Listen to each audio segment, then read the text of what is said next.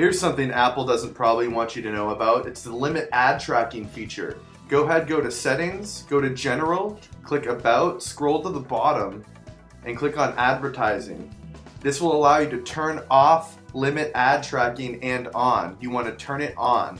This will allow so companies can't track you and send you targeted ads. You can now launch applications with Siri. Simply say launch and then the application name.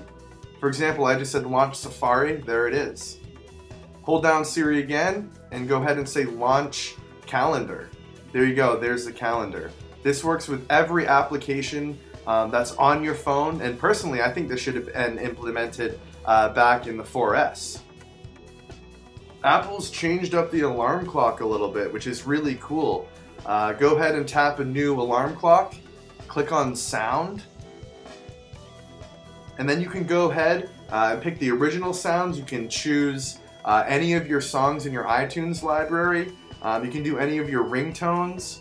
Um, and you can also select none, which is interesting. I don't know why you would not want to be notified at an alarm, but there you go. You can select it if you need to.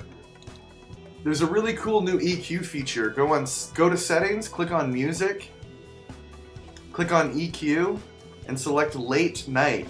This will allow uh, the phone to be in a certain EQ mode where the high ends are a little retained, so you'll be able to sleep a lot better while you listen uh, to music.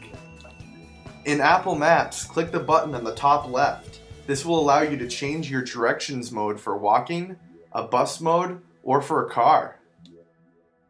Here's a cool tip that was in my last video, and I feel like it should be in this video. Uh, go ahead to Settings, click on General, scroll down to Keyboard, click on Keyboards, click Add New Keyboard, and select Emoji.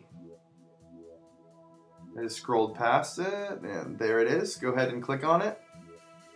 And now that'll be added into your regular keyboard, and I'll show you what this does. Go ahead and click on Messages, uh, select a new message, and on the lower left corner, there's a button you want to press. Right there.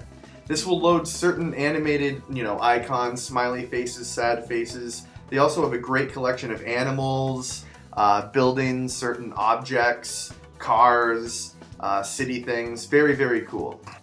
Well, I really appreciate you watching. If you liked this video, please thumbs up it um, and subscribe because I always release more tutorial videos and cool, cool videos I think everyone will enjoy. So again, thank you so much for watching. Please thumbs up if you liked the video uh, and take care and have a great day.